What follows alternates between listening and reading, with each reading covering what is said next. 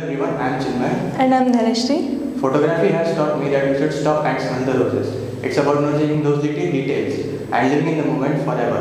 Every, every photograph I take is an extension of my personality. Photography is a way of feeling, of touching, of loving. What you have caught on film is remembered forever. So, in cover shot, we will display your best photos caught by you in round one.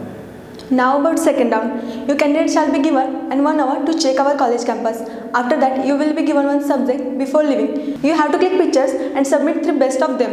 You have to present your own views on your photos to judges. The rules are pretty simple. First, post-processing of image is prohibited. Second one, the minimum resolution of image should be 5 megapixel. Third one, soft copy of image is in JPG or JPG format. Should also be submitted 2 days prior to the event. You submitted your photos on following email ID. Our email ID is covershotgcek at gmail.com. For more information, you visit on our website www.avishkargck.com.